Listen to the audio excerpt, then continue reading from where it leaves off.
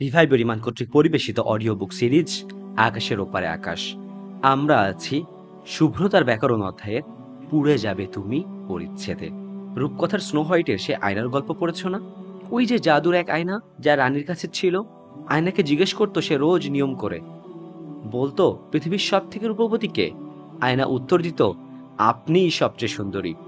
আয়নার এই উত্তর শুনে আনন্দ আর পরিতৃপ্তির হাসি যেন উপচে পড়তো রানীর চোখে। এভাবেই চলছিল দিন। কিন্তু একদিন দিন বদলে গেল।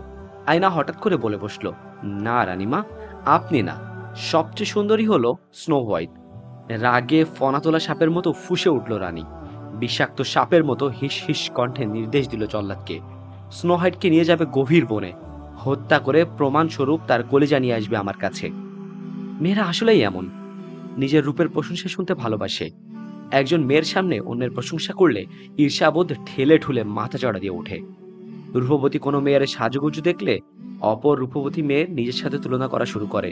ওর নাকটা আমার চাইতে বোচা, ওর চুল দেখে মনে হচ্ছে ঘোড়ার লেজ, হাইটে আমার চাইতে কয়েক ইঞ্চি ছোট। ত্বকের, চুলের এত যত্ন, ড্রেসিং টেবিলে ভর্তি এত সাজগোজের পণ্য, এত মেকআপ টিউটোরিয়াল দেখা, নিত্য নতুন পোশাক ফেসবুক ইনস্টাগ্রামের একটার পর একটা ছবি দেওয়া ইউটিউব বা টিকটকের শর্ট ভিডিও এসব কিছু অন্যের একটু মনোযোগ আকর্ষণ, মিষ্টি কিছু প্রশংসা, বিনিময়ে মুগ্ধ হয়ে যাওয়া কিছু মুখ দেখে সুখ পাওয়ার জন্যই তো, তাই না? আপু, তুমি হয়তো এসব ভেবেই ছবি ভিডিও দাও, রাস্তায় সাজগোজ করে বের হও। কিন্তু ছেলেরা শুধু এতটুকু ভাবে না। আলকেমি অডিওতে আমরা দেখেছি, ছেলেরা সুন্দরী সাজগুজু করা মেয়েদের দেখলে দৈহিক আকর্ষণ বোধ করে। সোজা বাংলায় বলতে চাইলে, শুতে চাই শোবার কথা চিন্তা করে। ছেলেরা সৃষ্টিগতভাবেই এমন। এটাই তাদের সহজাত প্রবৃত্তি। তোমাকে তো আর সরাসরি শোবার কথা বলতে পারে না? তাই কৌশলের আশ্রয় নেই এবং সেই কৌশলও আবর্তিত হয় সেই প্রশংসাকে কেন্দ্র করে। অন্তহীন প্রশংসা করে তোমার। শ্রুতি মধুর নিখুঁত মিথ্যার বন্যা বইয়ে দেয়। এরই মাঝে তোমার জন্য ফাঁদ পাতে। প্রশংসা পেয়ে গলে যাও, তুমি টেরই পাও না কি আসতে যাচ্ছে সামনে। ধাপে ধাপে কৌশলগুলো দেখা যাক। ধাপ এক, তুমি না অমুক সেলিব্রিটির মতো দেখতে। তুমি কি জানো তার চাইতেও অনেক সুন্দরী তুমি? এমন ধরনের কথাবার্তা বলবে। বর্তমান সেকুলার বিশ্ব ব্যবস্থায় সেলিব্রিটিদের একরকম পূজাই করা হয়। কাজেই অন্যের মুখে সেলিব্রিটিদের সাথে নিজের রূপের তুলনা শুনে মেয়েরা আহ্লাদে একেবারে আটখানা হয়ে যায়। ধাপ দুই, তুমি না অনেক হট একদম অমুক সেলিব্রিটির মতো। তোমার ফিগারটা সেই। দূর থেকে দেখলে তো বোঝাই যায় না যে তুমি হেঁটে যাচ্ছ না অমুক সেলিব্রিটি হেঁটে যাচ্ছে। এরকম প্রশংসা দিয়ে শুরু হয় এই ধাপ। আগের ধাপের মতোই মেয়েরা এখানেও প্রশংসায় অনেক খুশি হয়। আসলে, এই ধাপ থেকেই প্রশংসা একটু একটু গ্রাফিক, একটু খোলামেলা হতে থাকে। মেয়ের প্রতিক্রিয়ার উপর ভিত্তি করে সে ঠিক করে, কতটা খোলামেলা কথা সে বলবে। মেয়ে রেগে গেলে বা রেগে যাওয়ার ভান করলে সে সাবধানে খেলবে, সময় নেবে। আর যদি খুশিতে গদগদ হয়ে যায় প্রশংসা শুনে, তাহলে আরও বেশি খোলামেলা কথা বলবে। কিন্তু যেহেতু সেলিব্রিটি অ্যাঙ্গেলটা থাকছেই মানে বাজে অশ্লীল কথাগুলো সরাসরি সেগুলো না বলে সেলিব্রিটিদের সাথে তুলনা করা বলেছে। কাজেই মেয়েরা তেমন একটা রাগ করে না, খুশি হয়। ধাপ তিন সেক্সের প্রস্তাব দেবার চূড়ান্ত ধাপ এটা। আগের দুই ধাপ সফলতার সাথে শেষ করে আসার যথেষ্ট খোলামেলা কথাবার্তা গা সওয়া হয়ে যায়। এবার ছেলেরা বলা শুরু করে, জানো, অমুক সেলিব্রিটির শরীরের কথা। হিপ বুক মনে হলে আমি নিজেকে সামলাতে পারি না। তুমিও তো তার মতোই দেখতে। তুমি এত হট কেন? তোমাকে দেখলে আমার নিজেকে কন্ট্রোল করতে অনেক কষ্ট হয়। আমাকে এভাবে কষ্ট দেওয়ার জন্য তোমার অনেক পাপ হয়। তুমি কি সেটা জানো? গত রাতে অমুক নায়িকার একটা আইটেম সং দেখছিলাম। তোমার কথা মনে হচ্ছিল বার বার। এখানে মেয়েরা একটু বেশি প্রশ্রয় দিলে বলে, অমুক পনস্টারের পণ দেখছিলাম। এর চেয়ে আরও বেশি সাহসী কথা বলে অনেকেই। তবে সব সময় চেষ্টা করে সেলিব্রিটির অ্যাঙ্গেল আর প্রশংসা ধরে রাখতে। প্রশংসার মুগ্ধতার মায়াপাশে বন্দী হয়ে মেয়েটি কখন যে বিছানায় গিয়ে উঠে সবচেয়ে মূল্যবান বিষয়টি হারিয়ে ফেলে তা বুঝতেই পারে না। আমার কথা বিশ্বাস করার দরকার নেই। মেয়েদের কীভাবে পটাতে হয়, মেয়েদের সাথে কীভাবে ফ্লার্ট করতে হয়, এমন অসংখ্য অনলাইন কন্টেন্ট পাওয়া যাবে। সেখানে দেখবে সবাই একই কথাই বলছে, মেয়েদের প্রশংসা করো। আমার খুব ভালো বন্ধু, ও আমাকে অনেক সাহায্য করে। ও আমার জাস্ট ফ্রেন্ড ও আমার ভাইয়ের মতো। আমাদের মন তো পবিত্র, এসব ফালতু কথা। তোমার মনে হয়তো কিছু আসে না, কিন্তু ছেলেদের মনে অনেক কিছুই আসে, আপু। দুজন নারী পুরুষ মিশবে, পাশাপাশি বসে ক্লাস করবে, একই রিক্সায় বসবে, হাত ধরাধরি করবে, সংস্কৃতি চর্চার নামে রাত বিরাতে ক্যাম্পাসে ঘুরবে, ট্যুরে যাবে, রসালো মজার আলোচনা করবে, আর মনে কিছু আসবে না? এমন দাবি কেউ করলে সে হয় মিথ্যা বলছে অথবা তার ডাক্তার দেখানোর প্রয়োজন। তোমাকে ভেবে তোমার ছবি থেকে সে মাস্টার বেড করে, পর্ন দেখে। ও তোমাকে সাহায্য করে, কারণ এর মাধ্যমে সে তোমাকে পটিয়ে প্রেম করতে চাই তোমার শরীরটা চাই। আর এমন মানুষদের হাতে ধর্ষণের অসংখ্য উদাহরণ তো আমরা পুরো বই জুড়ে দিয়ে আসলাম। তুমি একটু যদি ভালোভাবে খেয়াল করো, তার তাকানো, তার স্পর্শ, কথাবার্তা, তাহলেই বুঝতে পারবে। তুমি যদি জানতে ছেলেরা তোমাকে নিয়ে কি ভাবে, তোমাকে কীভাবে দেখে, তাহলে তুমি হয়তো নিজেকে নিরেট লোহা দিয়ে ঢেকে রাখতে। নারী এবং পুরুষ হলো বারুদ ম্যাচের মতো। একসাথে থাকলে আগুন লাগবেই। আল্লাহ আমাদের এভাবে সৃষ্টি করেছেন। সৃষ্টিকর্তা হিসেবে তিনি সবচেয়ে ভালো জানেন আমাদের সম্পর্কে। তাই তিনি নারী পুরুষের সহাবস্থান নির্জনে ও সামাজিক সেটাপে নিষিদ্ধ করে দিয়েছেন। বলেছেন পর্দা করতে, দৃষ্টির হেফাজত করতে। নারীদের উদ্দেশ্য করে আল্লাহ বলেছেন, আর তোমরা নিজ ঘরে অবস্থান করবে। প্রাচীন জাহেলি যুগের প্রদর্শনীর মতো নিজেদেরকে প্রদর্শন করে বেড়াবে না। সুরা আল আহজাব তেত্রিশ। যদি তোমরা আল্লাহকে ভয় করো তবে পরপুরুষদের সাথে কোমল কণ্ঠে এমনভাবে কথা বলো না যাতে ব্যথিগ্রস্ত অন্তরের মনে প্রলুব্ধ হয়। সুরা আল আহজাব বত্রিশ। রসুল্লাহ সাল আলহি ওয়াসাল্লাম বলেছেন, আমি আমার পর জনগণের মাঝে পুরুষদের জন্য মেয়েদের চেয়ে বেশি ক্ষতিকর আর কোনো পরীক্ষা রেখে যাচ্ছি না। নারীদের পরীক্ষা থেকে বাঁচো, কারণ বনি ইসরায়েলের প্রথম পরীক্ষা নারীদের মাধ্যমে সৃষ্টি হয়েছিল। তিনি আরও বলেছেন, কোনো ব্যক্তি কখনো কোনো মহিলার সাথে একান্তে নির্জনের সাক্ষাৎ করবে না। তবে জেনে রাখবে এমন অবস্থায় তাদের সঙ্গে তৃতীয়জন হলো শয়তান। আল্লাহ তাআলা পুরুষ সাহাবিদের উদ্দেশ্য করে বলেছেন, তোমরা তার পত্নীদের কাছ থেকে কিছু চাইলে পর্দার আড়াল থেকে চাইবে। এ বিধান তোমাদের এবং তোমার হৃদয়ের জন্য বেশি পবিত্র। সুরা আল আহজাব তিপ্পান্ন রাসুল্লাহ সাল্লাহ আলহিউসাল্লামের সম্মানিতা স্ত্রী, আমাদের আম্মা যান, যাদের সম্মান রক্ষা করা আমাদের ইমানের দাবি। তাদের ব্যাপারে পুরুষ সাহাবিদের জন্য এমন আয়াত নাজিল করেছেন, আল্লাহ তাআলা নবী রাসুলদের পর সবচেয়ে ধার্মিক মানুষ হলেন সাহাবারা। তাহলে তোমার আমার মতো সাধারণ নারী পুরুষের সহাবস্থানের ক্ষেত্রে কি হতে পারে? শায়েখ ইবনে বাজ ও শায়েখ ইবনে ওসাইমিন রাহিমাহুল্লাহ পুরুষ নারী দেখা দেখি নির্জনে অবস্থান এবং সহাবস্থান সংক্রান্ত বিবিধ আলোচনায় বলেছেন, নবী সাল্লাহ আলহিসাল্লামের যুগে নারীগণ পুরুষদের সাথে সহাবস্থান করতেন না, মসজিদেও যেতেন না আর বাজারেও না। নবী সাল্লাহ আলাইসাল্লামের মসজিদে নারীরা পুরুষদের পেছনে পুরুষদের শেষ কাতারের পর কাতারে সালাদ আদায় করতেন এবং তিনি নারীদের প্রথম সারি বা কাতারের সাথে পুরুষদের শেষ কাতারের তার আশঙ্কা থেকে সতর্ক করার জন্য বলতেন, নারীদের সর্বোত্তম সারি বা কাতার হলো শেষ কাতার এবং সবচেয়ে মন্দ কাতার হলো প্রথম কাতার। আর পুরুষদের সর্বোত্তম কাতার হলো প্রথম কাতার, আর সবচেয়ে মন্দ কাতার হলো শেষ কাতার।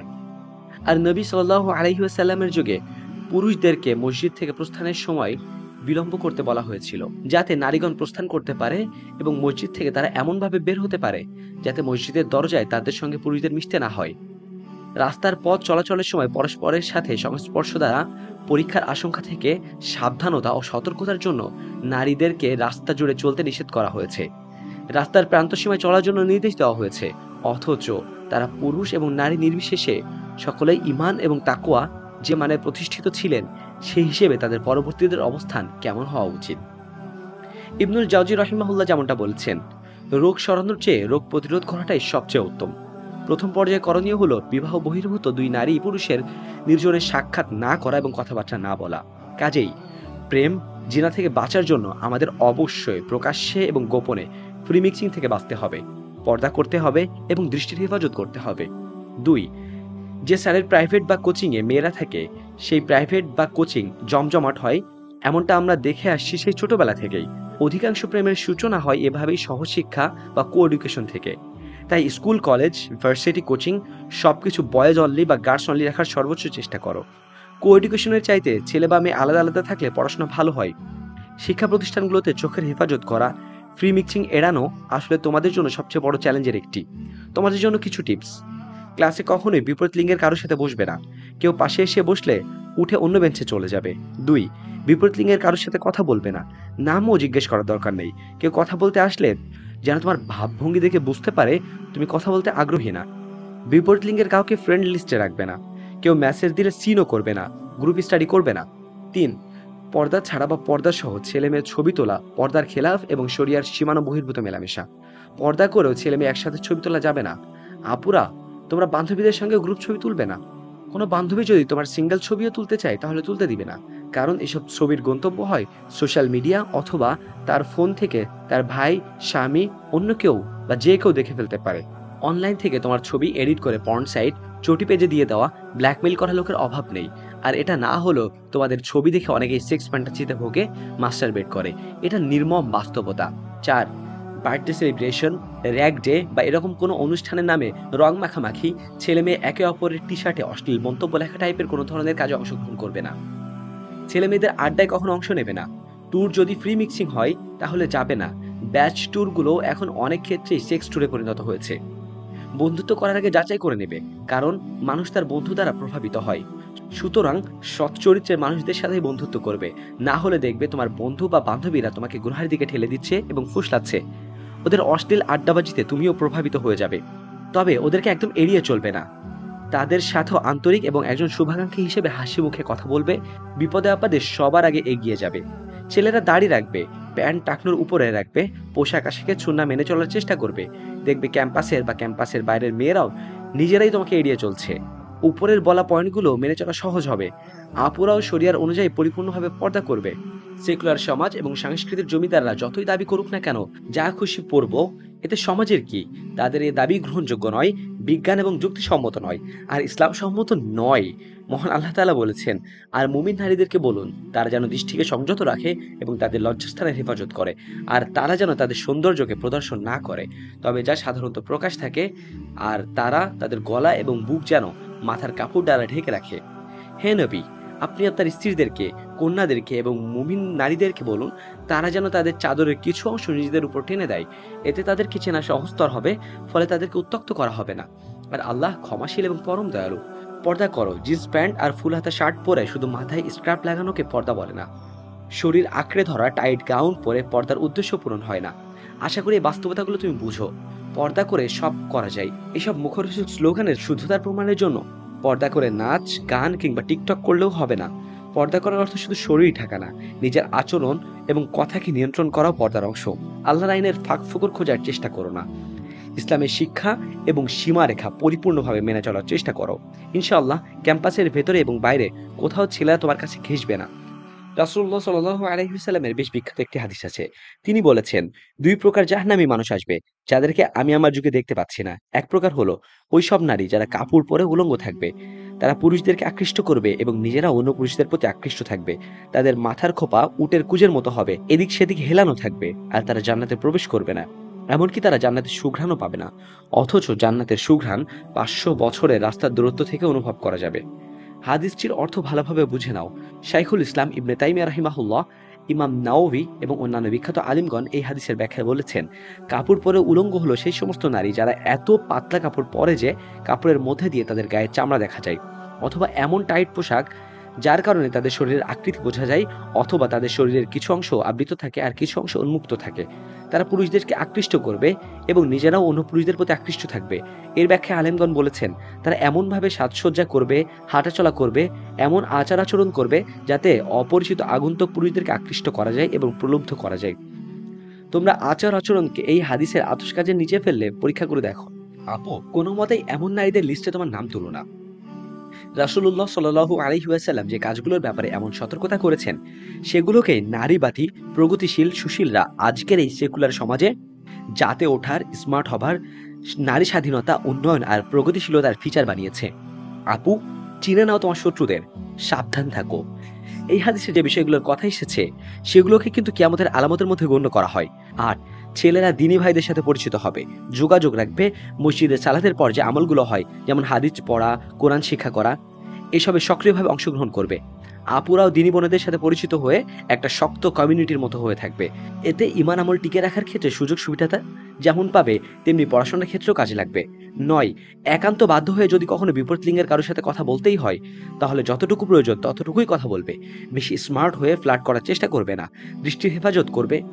মেয়েরা কথা বলার সময় হাত নেড়ে নেড়ে কোমল ছুঁড়ে তিন আলিফ টান দিয়ে, ভাইয়া বলবে না, কথা সংক্ষিপ্ত রাখবে। পাশ্চাত্যের ভদ্রতার কথা হচ্ছে, কথা বলার সময় চেহারার দিকে তাকিয়ে থাকা। আর আল্লাহ ও তার রাসুল আমাদেরকে ভদ্রতা শিখিয়েছেন এভাবে। কোনো প্রয়োজনে নারী পুরুষের কথা হলে পার্থক্যপক্ষের চেহারার দিকে না তাকানো। তুমি কোনটা মানবে? সিদ্ধান্ত তোমার।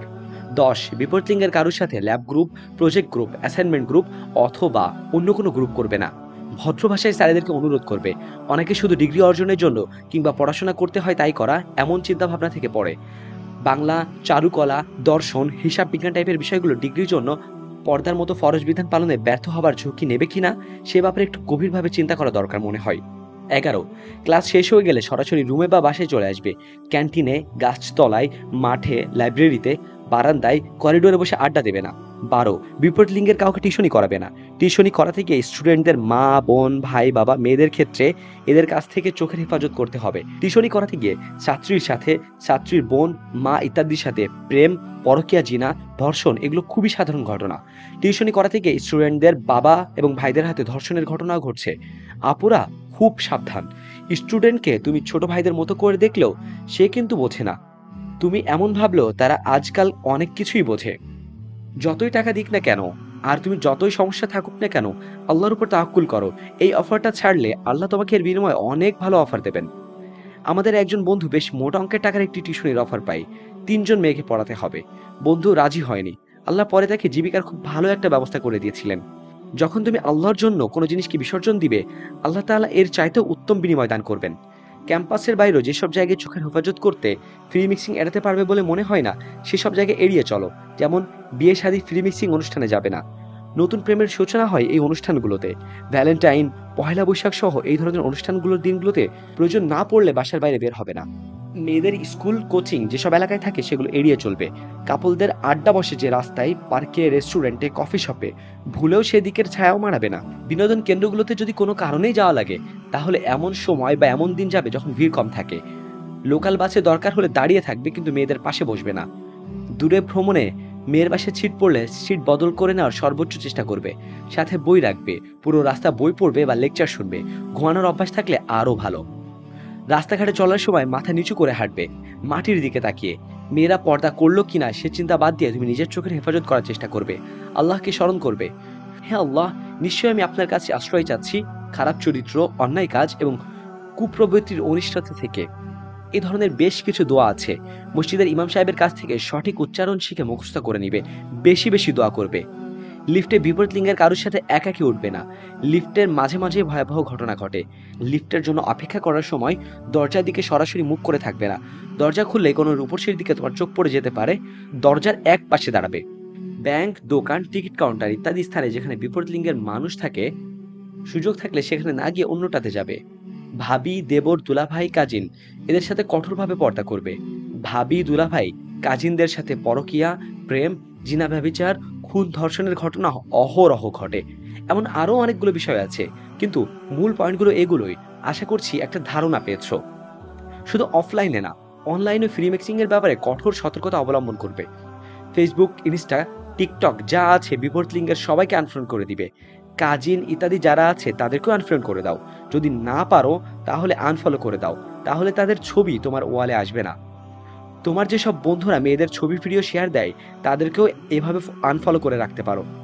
নাটক সিনেমার ক্লিপ পোস্ট করা পেজ ফিমেল সেলিব্রিটিদের পেজ প্রেমের লুতুপুতু মার্কা বিভিন্ন পেজ ক্রাশ অ্যান্ড কনফিউশন টাইপের গ্রুপ চ্যানেল আইডি সব কিছু থেকে নিজেকে সরিয়ে নিতে হবে। কোনোভাবেই বিপরীত লিঙ্গের কারোর সাথে যোগাযোগ করা যাবে না। ফ্রেন্ড লিস্টে এমন কাউকে ফলো করা যাবে না, যারা তাদের প্রেমিকা বা বউয়ের সাথে ছবি আপলোড দেয় চেক ইন দেয়, খুনসিটির গল্প শেয়ার করে।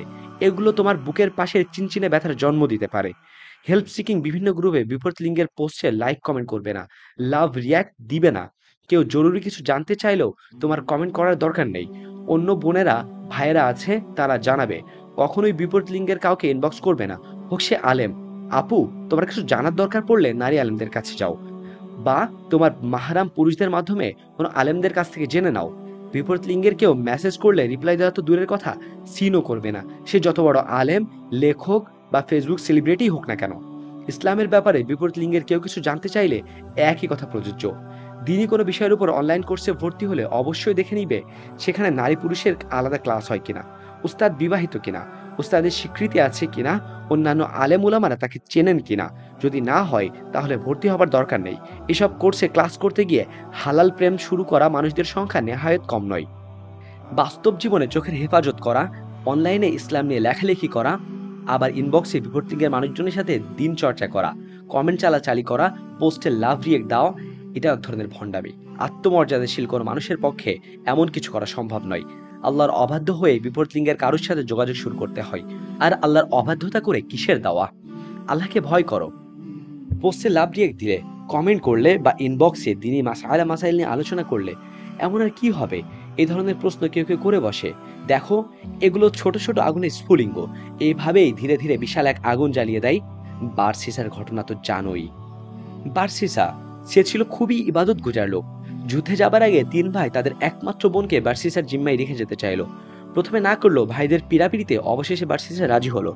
ঠিক হলো, বার্সিসা থাকবে তার নিজের বাসায় আর মেয়েটি থাকবে অন্য এক বাসায়। রোজ খাবার তৈরি করে মেয়েটির ঘরের দরজায় রেখে আসতো বার্সিসা। কথা বলতো না। কিছুদিন কেটে গেল এভাবেই। কিন্তু আস্তে আস্তে বার্সিসা শয়তানের ফাঁদে পা দিল। শয়তান তাকে বোঝালো, এভাবে খাবার দিয়ে আসা অভদ্রতা। তাকে ডেকে খাবার দিয়ে আসো। বার্সিসা তাই করতে শুরু করল। তারপর শয়তান বলল তার সাথে দু একটা কথা বলো কথা বললে কি আর হবে? বার্সিসা তাই করল। তারপর শয়তান বলল, ঘরের মধ্যে একটু বসে কথা বললে কি হবে? মেয়েটা সারাদিন একা একা থাকে। বার্সিসা শয়তানের কুমন্ত্রণায় সাড়া দিল, এভাবে একটু করলে কি হয়? থেকে শুরু হয়ে গেল এক পর্যায়ে বার্সিসা সেই মেয়ের সাথে জিনা করল। মেয়েটি গর্ভবতী হয়ে সন্তান জন্ম দিল। ততদিনে ভাইদের ফেরার সময় হয়ে গেছে। বার্সিসা প্রচণ্ড ভয় পেল। শয়তান এবার কুবুদ্ধি দিল। ভাইরা যদি এসে এই অবস্থা দেখে ফেলে, তাহলে তোমাকে কঠিন শাস্তি দিবে। তুমি বরং ঝামেলা মিটিয়ে ফেলো। শয়তানের পরামর্শে বার্সিসা সেই মেয়ে ও তার সন্তানকে খুন করে কবর দিল। ভাইয়েরা ফিরলে কান্নাকাটি করে বলল, তোমার বোন অসুখে মারা গেছে, ওইখানে কবর দিয়েছি। ভাইয়েরা কান্নাকাটি করে চলে গেল। কিন্তু রাতে শয়তান গিয়ে স্বপ্নের মাধ্যমে তিন ভাইকে সত্যটা জানিয়ে দিল। পরদিন তিন ভাই মিলে বার্সিসার কাছে আসলো। মেয়েটির কবরে তার সন্তানের লাশও দেখতে পেল। নিশ্চিত হলো বার্সিসাই তাদের বোনকে হত্যা করেছে। তারা বার্সিসাকে মেরে ফেলার সিদ্ধান্ত নিল। তারা যখন প্রস্তুতি নিচ্ছে, তখন শয়তান এসে বার্সিসাকে বলল, তুমি যদি আমাকে চিন্তা করো, তাহলে আমি তোমাকে তাদের হাত থেকে উদ্ধার করব। বার্সিসা তাই করল। তারপর তারপর শয়তান বার্সিসাকে ত্যাগ করল। এভাবে একটু কথা বললে কি হয়? একটু তাকালে কি হয়? এই একটু একটুর ফাঁদে পড়ে বার্সিসা জেনা করল, খুন করল, শির করল। তারপর তাকে সেই অবস্থায় মরতে হলো। আমাদের সমাজে এমন অসংখ্য ঘটনা ঘটছে। বিশেষ করে সদ্য দিনে ফেরা বোনেরা দিনের প্রতি ভালোবাসা এবং আবেগের কারণে খুব সহজেই অনলাইনের ফাঁদে পড়ে যান। ফেসবুকে কেউ ইসলাম নিয়ে একটু ভালো লিখলেই, দাড়ি টুপিওয়ালা কেউ সুন্দর করে দুটো কথা বললেই, নাসিদ গাইলেই বই লিখলেই দেখেন ফ্যান্টাসি শুরু হয়ে যায়। দিন শেখা কিংবা দাওয়ার ফাঁদে পড়ে দিল দিয়ে বসে থাকে। গোপনে বিয়ে করে, দিনই মুখোশধারী ছেলে পিলে বিয়ে করে কয়েকদিন ভোগ করে ছেড়ে দেয় ব্ল্যাকমেইল করে। মনে রেখো শরিয়া, তিনি ভাই বোনদের জন্য আলাদা না। সেলিব্রিটিদের জন্য আলাদা না, আলিমদের জন্য আলাদা না। শরিয়ার বিধান সবার জন্য সমানভাবে প্রযোজ্য। অনলাইনের জগৎটা বাস্তব দুনিয়া থেকে সম্পূর্ণ আলাদা।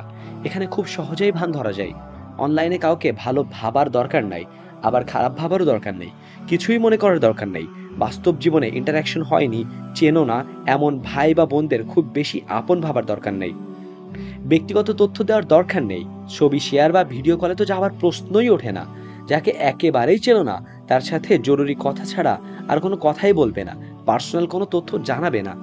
বোনেরা, মনে রেখো, আজকাল অনেক ছেলেই মেয়ে এসে যে আইডি চালায়, তাই অনলাইনে নতুন কোনো বোনের সাথে বন্ধুত্ব সম্পর্ক তৈরি হলে তার সম্পর্কে যতটুকু পারো খোঁজ খবর নেওয়ার চেষ্টা করবে। ভয়েস মেসেজ বা ছবি দেওয়া থেকে বিরত থাকবে। কোনো বোন যদি বারবার তোমাকে ভয়েস মেসেজ বা ছবি চায়, তাহলে তাকে সন্দেহ করার যথেষ্ট কারণ আছে। শুধু অনলাইনে সম্পর্কগুলো শক্তিশালী হয় না, বিভিন্ন মানুষ বিভিন্ন উদ্দেশ্য থাকে এখানে। ছবি শেয়ারের প্রসঙ্গ যখন আসলো, তখন অনেকবার বলে আসা কথাটা আবার মনে করিয়ে দেই। কখনোই তোমার খোলামেলা ছবি তুলবে না ভিডিও করবে না, স্বামীর জন্যেও না। স্বামীকেও ভুলতে দিবে না, এটা জায়েজ নেই।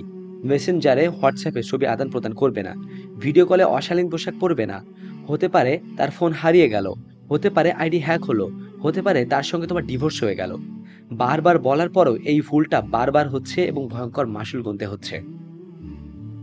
মূল কথা হলো রাসুল্লাহ সাল আলহিউসাল্লামের কথা মেনে বাস্তব দুনিয়াতে তুমি যেমন বিপরীত লিঙ্গের কারোর সাথে সম্মত কারণ ছাড়া কথা বলবে না, নির্জনে মানে তোমার ছাড়া কেউ নেই, কথাবার্তা বলবে না, আলাপ আলোচনা করবে না, তেমনি অনলাইনেও ইনবক্সের নির্জনতাই করবে না।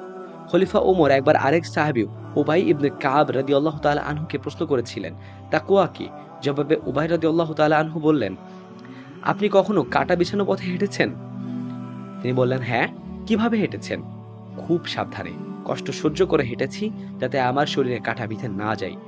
এটাই হলো তাকুয়া কাঁটা বিছানো পথে মানুষ যেভাবে সতর্কভাবে চলে, ঠিক সেভাবেই আখিরাতের শাস্তি থেকে বাঁচার জন্য, হারাম থেকে বেঁচে থাকা আর পুরস্কারের জন্য আল্লাহ যা ভালোবাসেন, সেই আমলটা করার নাম হলো তাকুয়া তাকুয়ার এই কনসেপ্টটা যদি তুমি বুঝতে পারো, যদি বসিয়ে নিতে পারো নিজের মন এবং মস্তিষ্কে, তাহলে এতক্ষণ যা কিছু বললাম, তা বোঝা এবং মানার ব্যাপারটা সহজ হয়ে যাবে।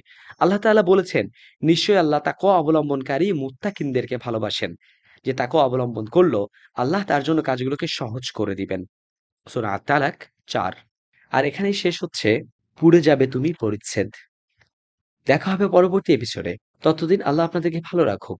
আসসালামু আলাইকুম ওয়া রাহমাতুল্লাহি ওয়া বারাকাতুহু।